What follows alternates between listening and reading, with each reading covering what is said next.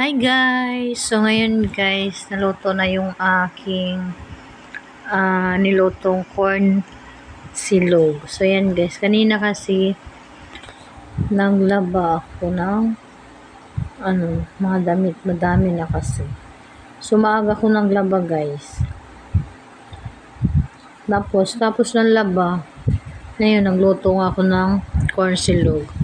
So yan ang aking almusal. So, yan. Kain tayo, guys. May tira pa nga akong isang tuyo, guys. Ayan. Gustong gusto ko talaga yung tuyo na to kasi ano to. Ah, uh, galunggong. Ayan. Yan yung aking favorite. Tapos sinangang, itlog, gano'n. So, masaya na ako dyan sa almusal ko pag ganyan yung aking kinakain. So, yun nga guys, kaninang maga-maga ako nagising mga 4.30. Nagplansya pa ako ng mga uniform nila, itching at saka yung aking uh, pangalawang anak na high school. Tapos mamlansya, nag ano naman ako, nag-asikaso naman ako ng kanilang mga baon. Tapos, kasi unang hinahatid yung aking ano, high school. Kasi exam nila, hinahatid siya ng papa nila. So yun, si Iching, pinapaliguan ko na tapos tapos siya mag-almusal. Ayan, nabubulol na nga ako guys. Sa gutom ba? so mahirap pala pag nalipasan ng gutom, nagkabulol-bulol na.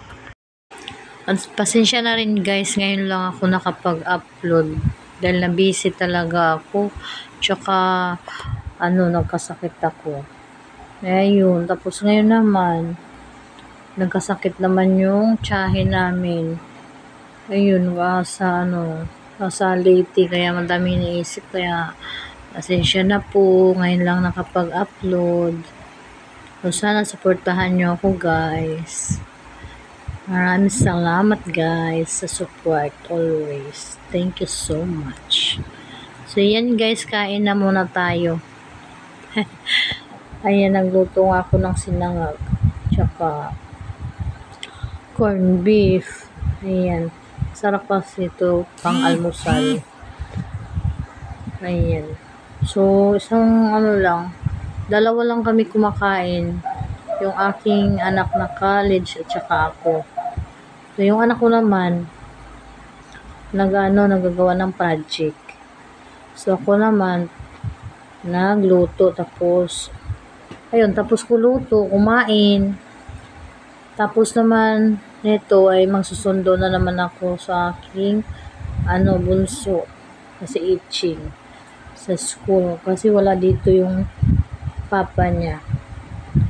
May nilakad kanina. So, ngayon, ako ang magsusundo. Eh, napakainit pa naman ang panahon ngayon. Grabe.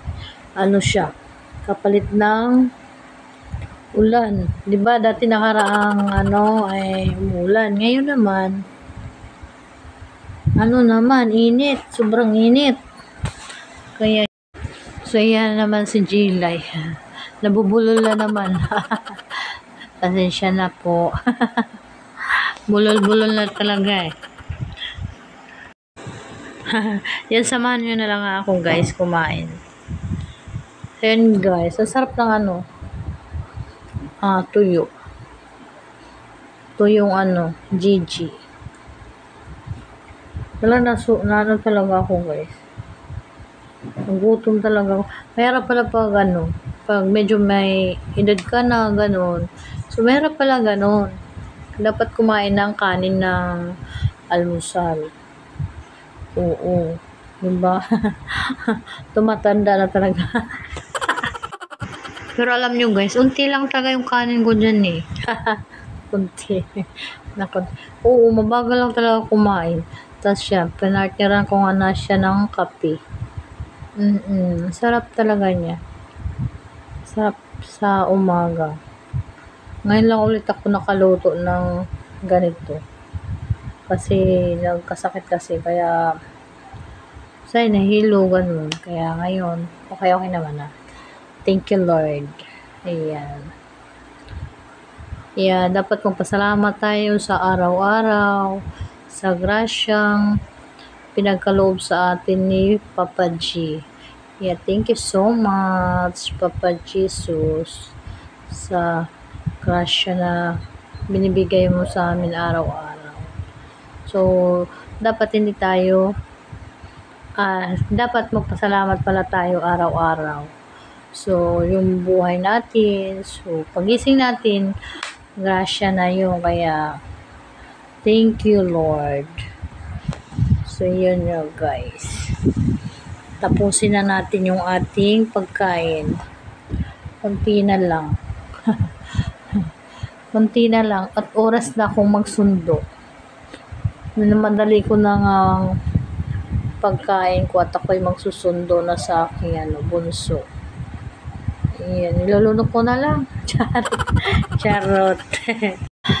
Dapat nating huyain ng maigi yung ating ano, kinakain guys. Mm So, yan guys. Oras na. Magsundo na talaga. Kaya nilakyan ko na talaga yung subo ko dyan. Kasi maglalakad pa ako puntang school. Oo, mga ano pa, mga 20 minutes bago ako makarating sa school. So, ngayon lang naman guys, kasi wala yung aking ano, wala yung aking asawa. Kaya, ano, ako magsundo.